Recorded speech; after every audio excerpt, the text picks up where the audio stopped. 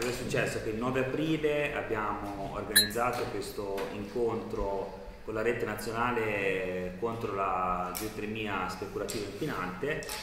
e sabato 9 aprile eh,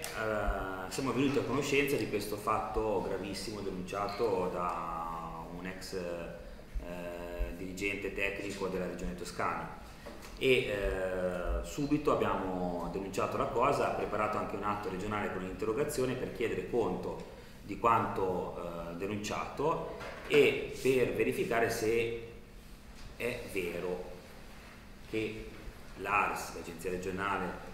della sanità, in primo luogo aveva emesso un parere negativo per la costruzione dell'impianto nella Miata Magnore 4 dell'Enel e successivamente dopo 15 giorni questo parere sia stato ribaltato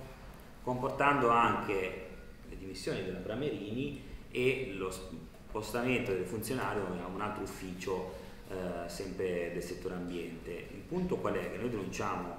eh, questo, cioè che se e quindi facciamo appello anche alla Procura perché indaghi su questo e accerti quanto denunciato. Se quanto denunciato emerge, eh, ne emerge una verità, quindi stato detto il vero, assolutamente chiediamo le dimissioni di Cipriani dell'Agenzia regionale della sanità e anche le dimissioni di Rossi, perché se fosse vero per l'ennesima volta assisteremo a un'ingerenza della politica nelle valutazioni tecniche degli uffici e questo sta diventando inaccettabile. Abbiamo visto qualche giorno fa dell'ingerenza del Presidente Rossi nella valutazione di impatto ambientale dell'aeroporto di Firenze negli uffici tecnici di Roma e abbiamo cercato di mantenere un eh, rispetto istituzionale per approfondire la questione. Ma se anche questa vicenda fosse confermata, noi chiederemo assolutamente la testa di Rossi. Perché è inaccettabile che un presidente interferisca con degli uffici tecnici regionali che sono a garanzia in primo luogo dei cittadini